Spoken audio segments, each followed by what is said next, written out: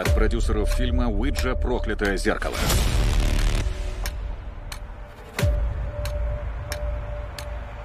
Мистер Мур был пациентом. Он поступил сюда много лет назад. 80% его тела было поражено ожогами.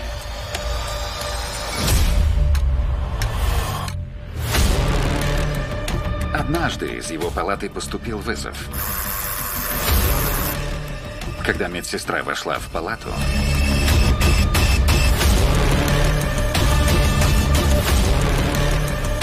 кровать была пуста, больше его не видели. Вот история мистера Мура.